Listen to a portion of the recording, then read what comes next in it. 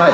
ガシャポンのお話をちょっとしていただきたいと思そううんですけれども。今日とびっきりの新商品をはい。僕が紹介します、なんとヒカキンさんが紹介してくださるということで、はい、まだ発売してないんですけどこれから発売する僕の一押しアイテム。おじゃあ早速ご紹介お願いします。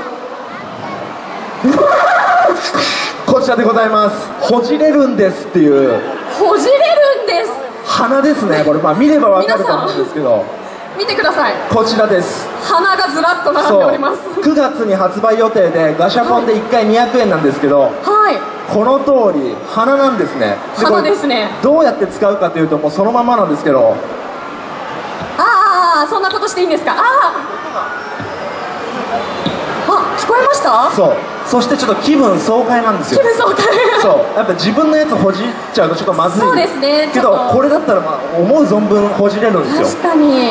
そう。っていうアイテムで見ての通りこんないっぱい種類があって形が違うんですよ。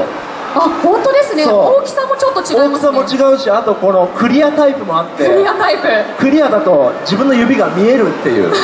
まあ結構どうでもいい感じなんですけど。いやでもなかなか見れないですから、はい。ってる様子は。そうなんですよ。はい。まあそういうシュールな感じが好きなんです僕は。なるほど、はい。なんか黒いものもありますけど。もうだいななんとなくわかりますよねこのシルエットだけで。ちょっとこれって気になりますね。あれだよね多分あれですよね、はい。これは一応もうシークレット。これがシークレットで。シークレットで。うん、かなりレアです、かなりレアなものなんですね、はい。で確かに、まあ、外ではねなかなか自分の花ほじれないですからそうなんですよ。ちょっとそういう方にぜひおすすめです。やってみたいですね。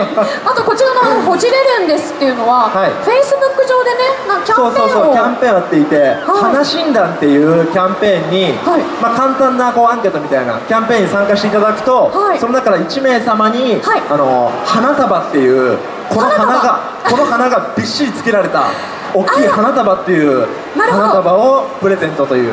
あの咲くお花じゃないんですね。そうですこっちの花です。こっちの花束、はい。ちょっと想像つかないですけれども。そう。それもそんな面白いキャンペーンもあるんでぜひぜひ9月の発売でチェックしていただけたそうでらと思います。すね。このほじれるんです。9月発売で200円で発売しますので、よろしくお願いいたします